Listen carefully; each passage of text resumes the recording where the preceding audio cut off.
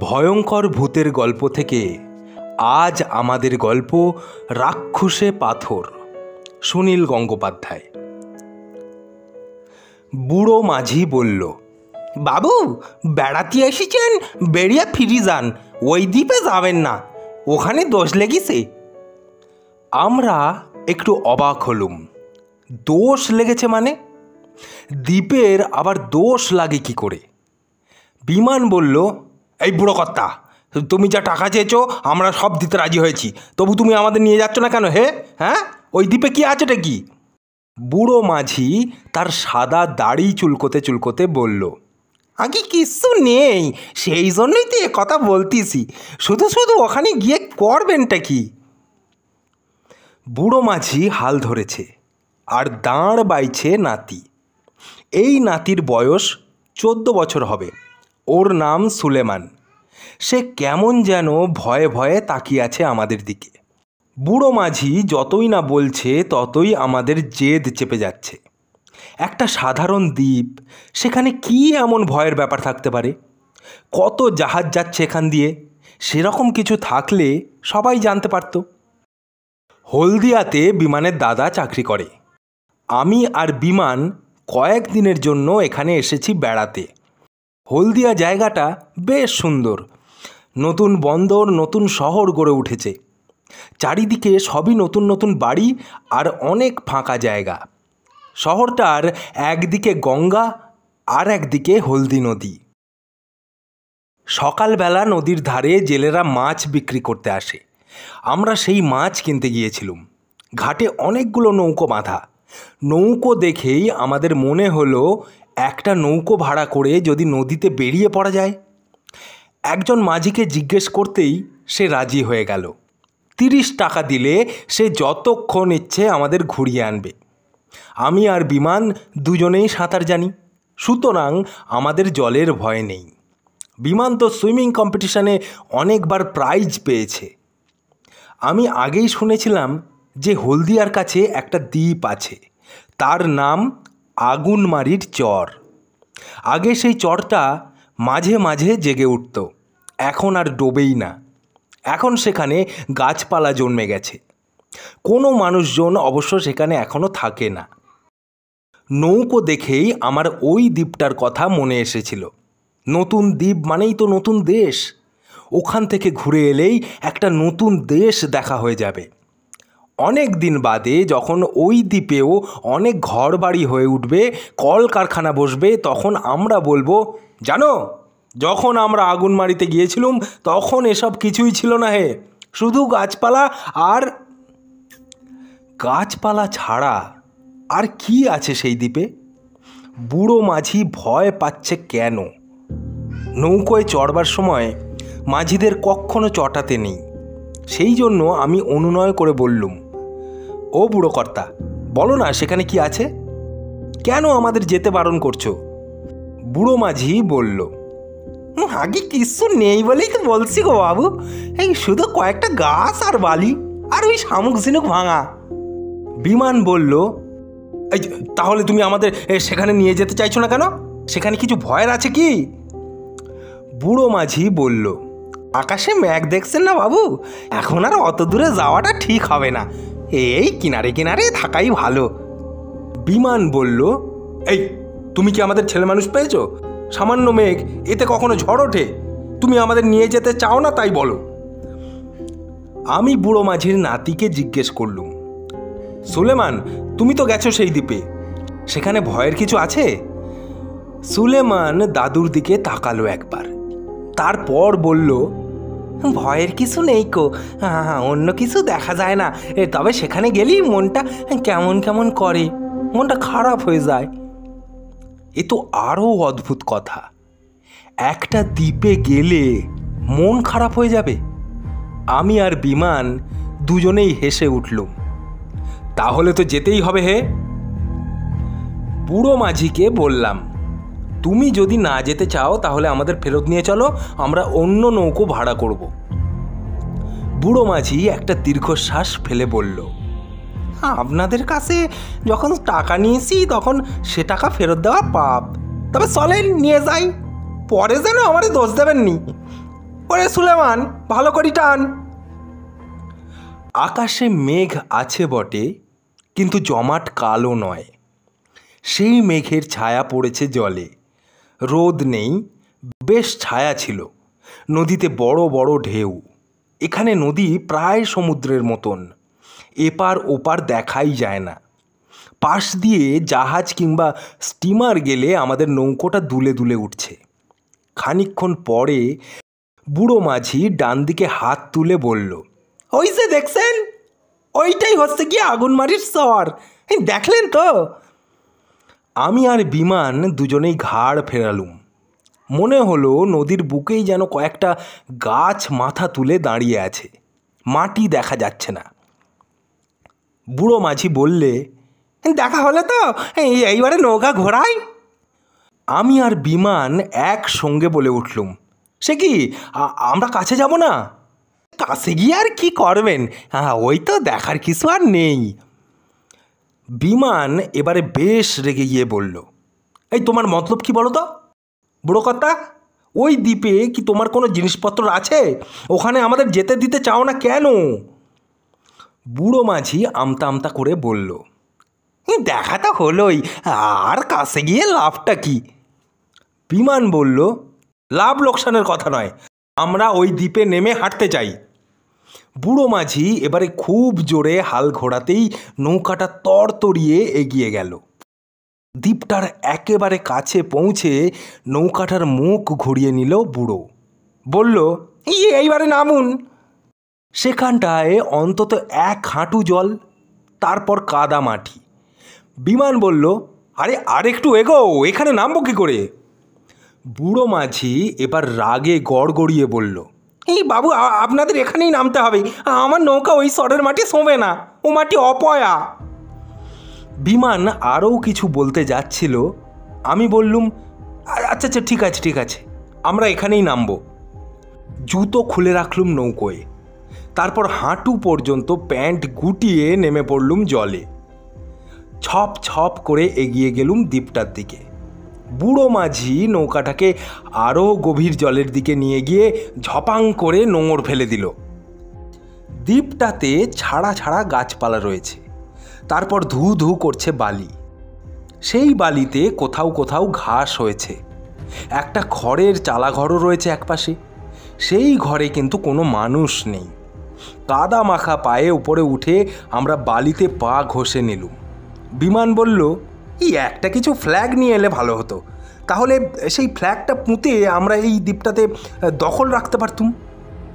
আমি বললুম তাহা কি করে হবে? আগেই তো এখানে মানুষ এসেছে। আরে দেখছিস না, ঘর আছে? আমরা ঘরটার কাছে গিয়ে দেখলুম, তার মধ্যে একটা খাটিয়া পাতা আছে। আর চতুর্দিকে ছড়িয়ে আছে শুকনো গোবর। জায়গাটায় বিচ্ছিরি গন্ধ। বিমান বলল এখানে লোকেরা গরু চড়াতে আসতো, কিন্তু গরুগুলোকে নিয়ে আসতো কি করে? আমি বললুম, বড় বড় নৌকা করে নিয়ে আসতো বোধ হয় আমি নৌকোয় গরু মোষ পার করতে দেখেছি। তারা আর এখন আসে না কেন? বর্ষাকালে এসে গেছে, সেই জন্য এখানে আসে না। এ তো সোজা কথা। দ্বীপটা কীরকম চুপচাপ লক্ষ্য করেছিস? কোনো শব্দ নেই। হ্যাঁ মানুষজন নেই, শব্দ হবে কি করে? আমি কিন্তু একটা শব্দ শুনতে পাচ্ছি। কান পেতে শোন। দুজনেই চুপ করে দাঁড়ালুম। সত্যি খানিক দূরে গাছপালার আড়াল থেকে মাঝে মাঝে একটা ফোঁস ফোঁস করে শব্দ পাওয়া যাচ্ছে। কেউ যেন নিঃশ্বাস ফেলছে খুব জোরে। কোনো মানুষ অবশ্য এত জোরে নিঃশ্বাস ফেলতে পারে না। বিমানের মুখটা কেমন শুকিয়ে গেল। চোখ বড় বড় করে বলল ও ওটা কিসের শব্দ বলতো সুনীল? বা- বা, সাপ টাপ নাকি আমি বললুম আরে সাপ কি অত জোরে ফোঁসফোঁস করে নাকি? সমুদ্রের বড় বড় অজগর সাপ থাকে শুনেছি। সমুদ্র থেকে যদি এখানে চলে আসে, সেই জন্যই বোধহয় মাঝিরা এখানে আসতে ভয় পায়। আরে একটা অজগর সাপ থাকলে সেটাকে কি তারা মেরে ফেলতে পারতো না? আচ্ছা চল, এগিয়ে দেখি। সঙ্গে লাঠি ফাটি কিছু আনলে হতো, বুঝলি তো? আরে ভয় পাচ্ছিস কেন?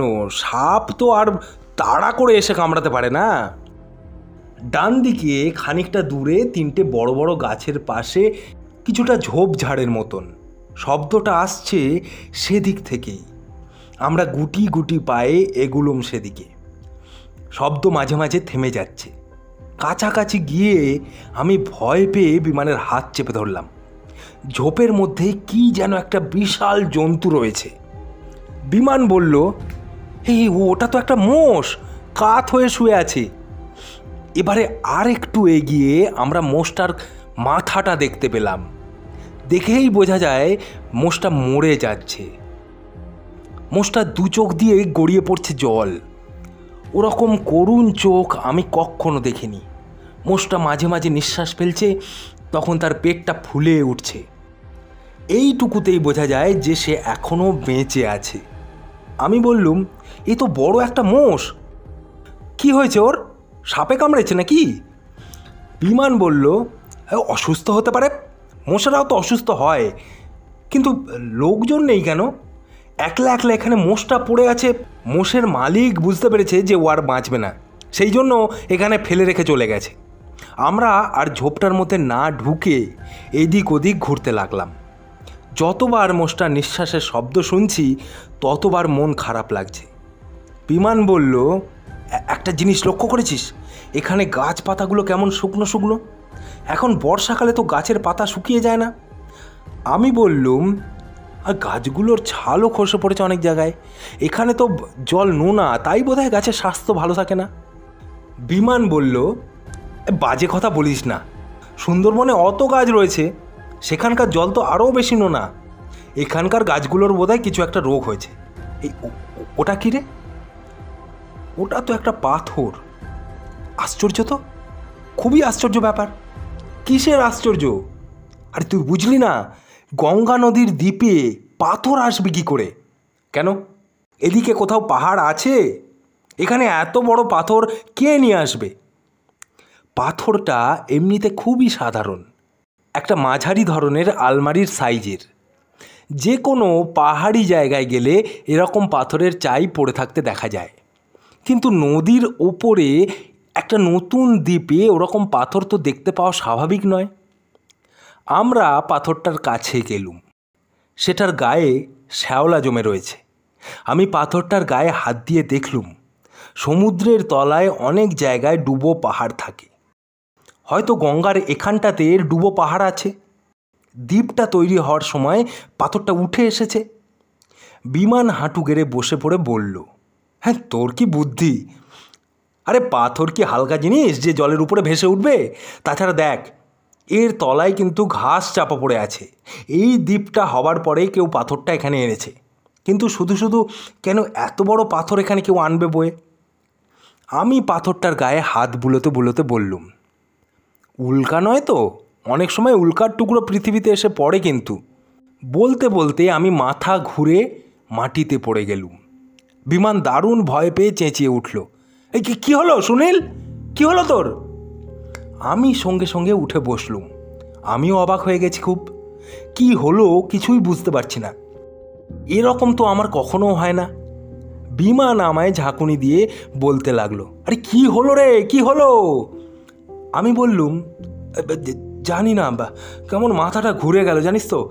চুপ করে বসে থাক এখানে, উঠিস না। আরে, আমার কিছু হয়নি। তবু বসে থাক।